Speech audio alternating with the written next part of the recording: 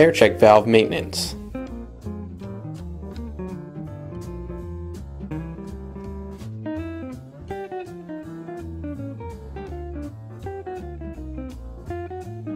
Purpose For the autochlor dish machines that fill directly into the pump motor volute, the air check valve is needed to prevent air from entering the spray system from the vacuum breaker while the pump is running.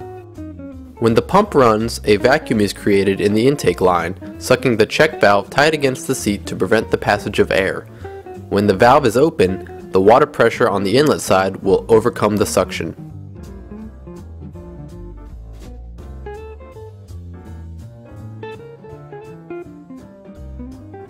Air check valve. Troubleshooting. When the air check valve fails, the dish machine pump will suck air into the spray system and cause the pump to surge. The result is the pump delivers a stressing sound. The spray pressure is reduced and results suffer. When this occurs, the weep hole on the side of the air check bonnet will leak water.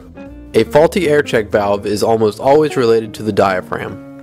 To check the diaphragm, remove screws 722 and lift cover 748C off of base 748B. Be careful not to lose plunger 748P and spring 748S.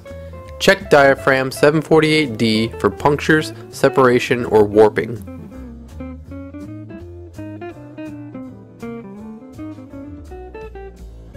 Air check valve. Installation. The air check valve is on the downflow side of the fill valve, therefore turning off the water supply during service is optional. Remove screws, cover, plunger, and spring. Lift diaphragm from base. Make sure base seat is free of mineral deposits and surface is smooth, free of nicks and burrs. Replace gasket. Invert bonnet. Slide tapered end of spring over brass plunger and insert both pieces into bonnet tube. Carefully place bonnet assembly onto base with the bleed hole facing the front left corner of the machine. Secure screws. Cycle the machine.